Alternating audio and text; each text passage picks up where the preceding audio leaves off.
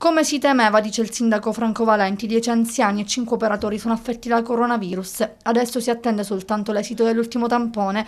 Tre degli anziani contagiati sono stati ricoverati in ospedale, gli altri positivi sono tuttora all'interno della struttura. Tra di loro c'è anche la direttrice della casa di riposo Pitagora di Santa Margherita di Belice che continua a chiedere lo sgombero dell'RSA.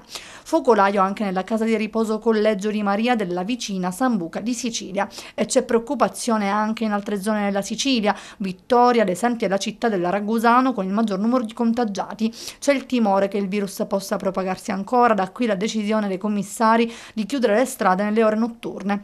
Arrivano intanto nuovi fondi per aiutare questa volta le comunità locali più colpite dal Covid-19.